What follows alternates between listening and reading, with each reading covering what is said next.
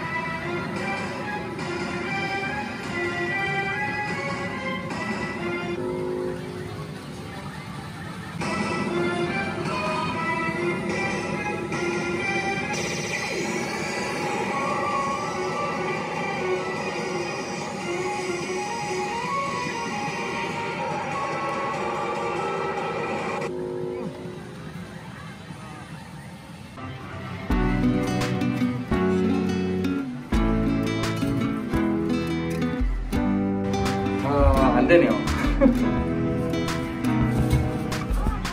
음료수만 많이 들고 그냥 음료수만 많이 가지고 가네요. 오늘 여기까지만 하고 또 다음에 또 기회 노려봅시다.